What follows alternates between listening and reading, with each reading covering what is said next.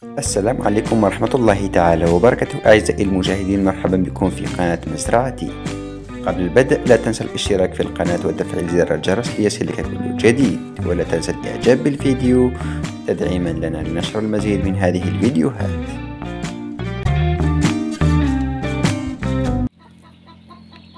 أحسن طريقة للقضاء على قمل الدجاج أو القمل الأحمر هي الطريقة الطبيعية وهو أخذ حمام غباري أي تترك الدجاج يعبث في حفر من الغبار وبذلك هذه الطريقة سوف يقضي على جميع القمل والحشرات المتواجدة على جسمه سبحان الله.